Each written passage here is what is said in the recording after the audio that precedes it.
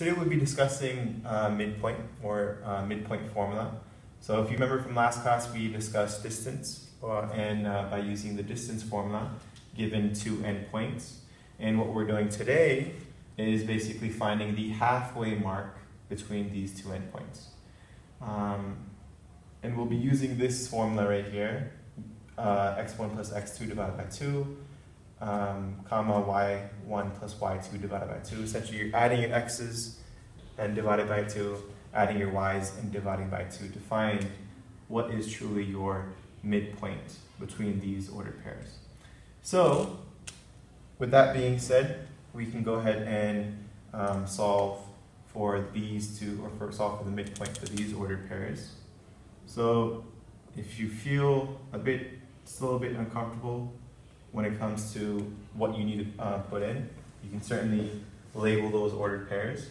So what we have here is x1, x2, negative 2, plus 2, divide by 2, comma, your y1, 2,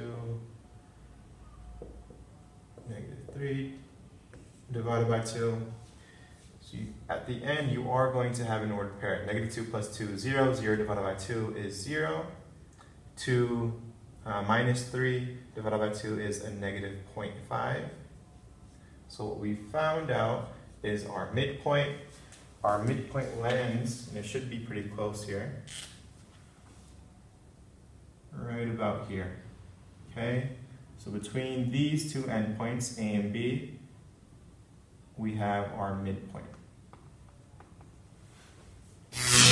So this brings up another scenario. In this scenario, we have an endpoint, uh, we have a midpoint, but we do not have the other endpoint, which is, we can assume it would be right around there. Um, now we have to use the formula, and there are multiple ways to do this, but our formula can help us out here. All we have to do is kind of split this up. Again, this will tell our x value for our midpoint, this tells our y value for our midpoint, so let's go ahead and use that to our advantage. So the midpoint uh, x value of your midpoint is derived by this. All right, and the y value for your midpoint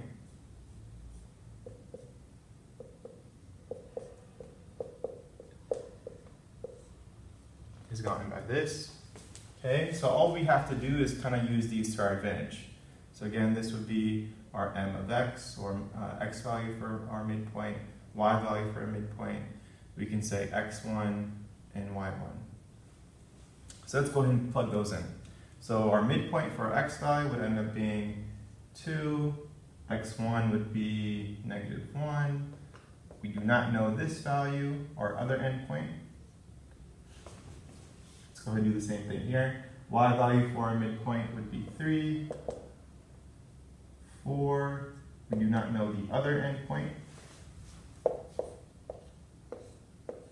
Okay, so let's clean this up a bit.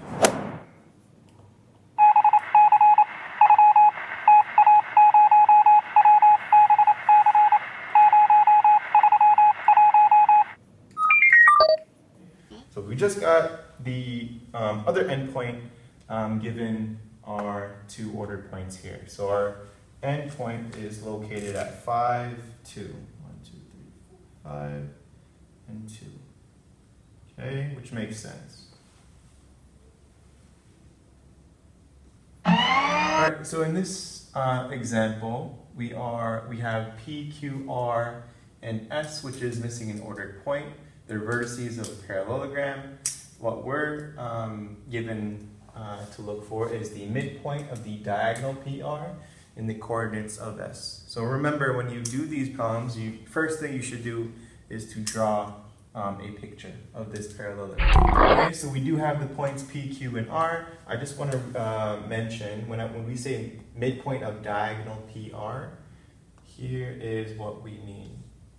Okay, when we say diagonal of a parallelogram, that is our diagonal, and here is our other diagonal.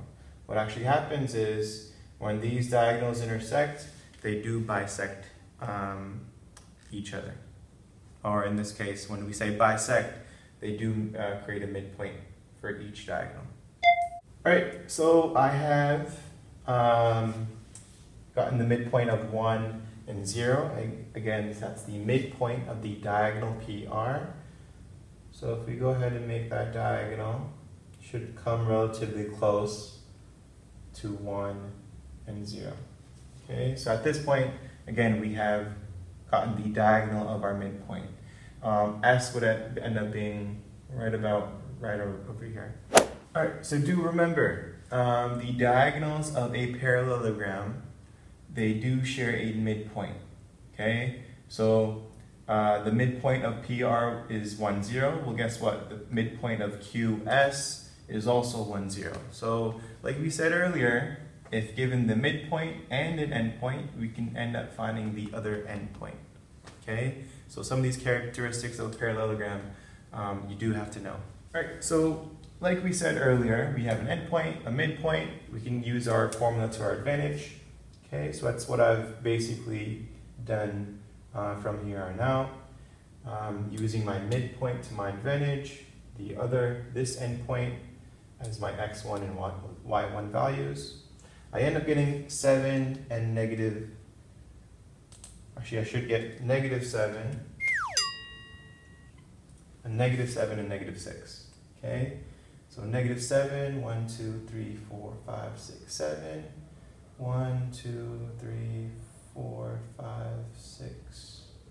Okay, so this is our S value.